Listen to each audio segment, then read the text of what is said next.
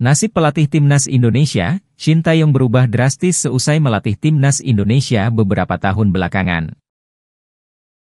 Shin Taeyong pernah bernasib apes, yakni dilempari telur saat melatih timnas Korea Selatan. Hal itu imbas kegagalan Shin Taeyong membawa timnas Korea Selatan lolos fase grup Piala Dunia 2018. Shin Taeyong lalu mundur dari jabatannya sebagai pelatih timnas Korsel dan menukangi timnas Indonesia. Sementara di timnas Indonesia, ST dibuat menangis karena kehangatan warga Indonesia. Seusai mendapat kehangatan dari warga Indonesia, Shin Taeyong akan terus berjuang lebih keras untuk skuad Garuda. Diketahui, Shin Taeyong berhasil mencetak sejumlah rekor atau sejarah untuk timnas Indonesia.